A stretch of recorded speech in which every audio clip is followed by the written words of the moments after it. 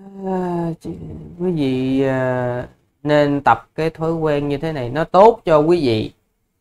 Tốt cho cả cái chuyện là sau này chúng ta đi làm hoặc là giao tiếp với bất cứ ai. Đó là tập làm sao đó chúng ta gõ chữ đó. Thứ nhất là gõ chữ có dấu.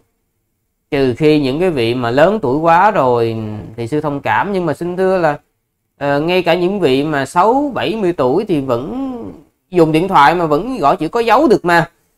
Thì suy nghĩ là nên tập nên tập nên tập.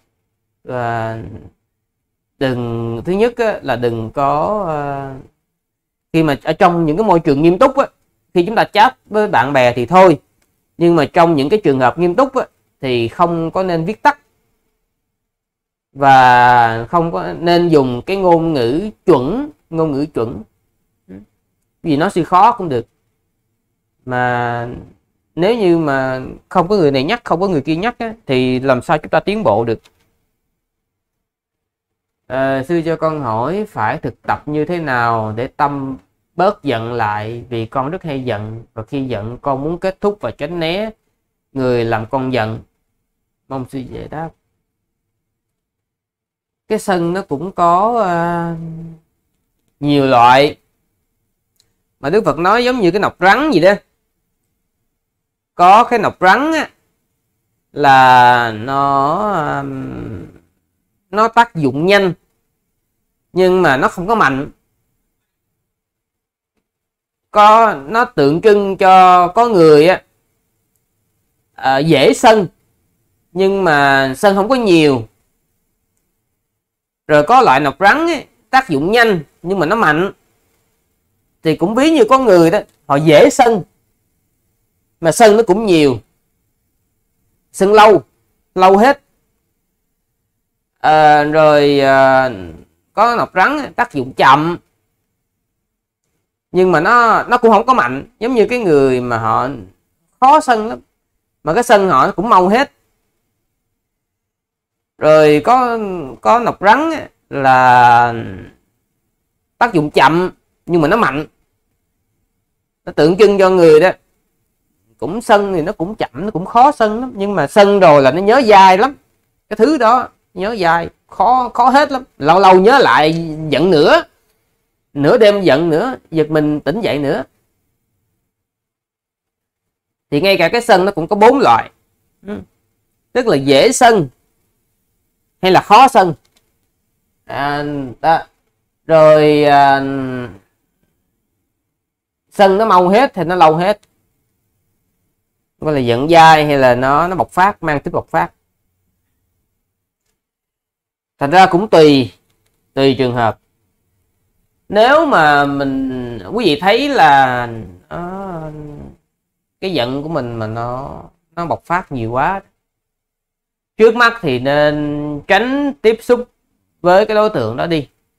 Đó, tránh được thì tránh đi tránh được thì tránh để cho cái tâm sân của chúng ta nó không có um, cơ hội nó phát triển nữa. Ví dụ như à, chồng giận thì vợ bớt lời cơm sôi nhỏ lửa mấy đời nào khê. Một người giận thì người kia né đi bớt đi đừng có nói đừng có đổ dầu vào lửa. Thì tự nhiên gia đình nó sẽ thuận hòa còn anh nói đường anh tôi đường tôi. Thì nó chỉ là thêm dầu vào lửa thôi và vấn đề nó cũng không được giải quyết. Đấy. À, do đó thì cái phương pháp tránh né nó cũng là một cách. À, nó cũng là một cách. Và khi chúng ta nổi giận ấy cái lời khuyên của sư là chúng ta khoan hãy giải quyết vấn đề. Như hồi sáng, có một người phàn nàn với sư. Đương nhiên là không có phàn nàn về sư mà phàn nàn về một vài vấn đề. Thì sư nói như thế này, đó là, coi lại nha, coi lại nha. Đang nói bằng cái tâm bất mãn. Chừng nào ngưng đi đừng có bất mãn nữa đó thì hắn nói tiếp còn không thì thôi, sẽ không nghe nữa. Chứ còn mà nói chuyện mà nói một hồi là cái cái lòng cái lòng bất mãn lòng sân, cái tâm sân nó nổi lên. Mở miệng nó không không có sân, không có sân đâu. Cái người mà mở miệng ra nói không có sân á, tức là cái con người đó họ không có sự tu tập, không có sự thực hành. Do đó mình không có dám đối diện với sự thật. Tâm có sân mà không biết tâm có sân. Do đó khi mà chúng ta phát hiện được nội tâm của chúng ta nó có cái lòng sân hận nó xuất hiện. Giải quyết nó trước cái đã. Rồi sau đó hạn giải quyết vấn đề. Quý vị chờ xem một chút xíu. Trời ơi mắc cái nghiệp chướng gì mà giờ này ai hút thuốc ngay trước Đấy, thì uh, quý vị thấy không ngay cả nãy nó, nó cũng tâm sân đấy tâm sân nó cũng xuất hiện mà nó nó xuất hiện kiểu vi tế tức là có khi là mình không có kịp nhận ra. Không có kịp nhận ra. À, do đó đấy.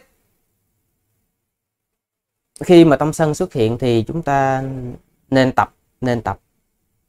Có những cái chúng ta nếu mà chúng ta giải quyết được vấn đề mà cái vấn đề nó không nghiêm trọng thì thôi sẽ không nói tới. Nhưng mà có những cái mà cái vấn đề chúng ta không có kiểm soát được cái um, cái hành vi của mình thì nên tránh đi. Nên tránh đi. Nên tránh đi và giải quyết cái tâm sân của mình cái đó tâm sân của mình cái đó đấy. Rồi um,